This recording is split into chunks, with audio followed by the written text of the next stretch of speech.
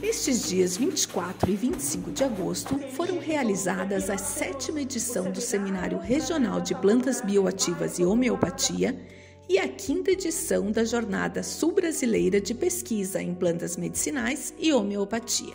Foram cerca de 700 inscritos, que se dividiram entre o auditório cheio no Centro de Eventos da Universidade de Passo Fundo e o acompanhamento online, visto que foi um evento híbrido. O diretor técnico da Emater, Alencar Ruggeri, esteve presente e parabenizou o evento e as 16 entidades e instituições que fazem parte da comissão organizadora, juntamente com a Emater Ascar.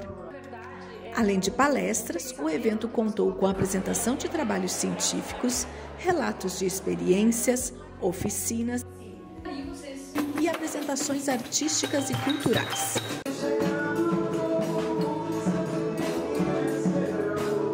Paralelamente, no dia 24, aconteceu o Espaço do Cuidado, com atendimentos feitos por terapeutas em diversas práticas, e o Espaço do Empreendimento, que contou com mais de 20 expositores.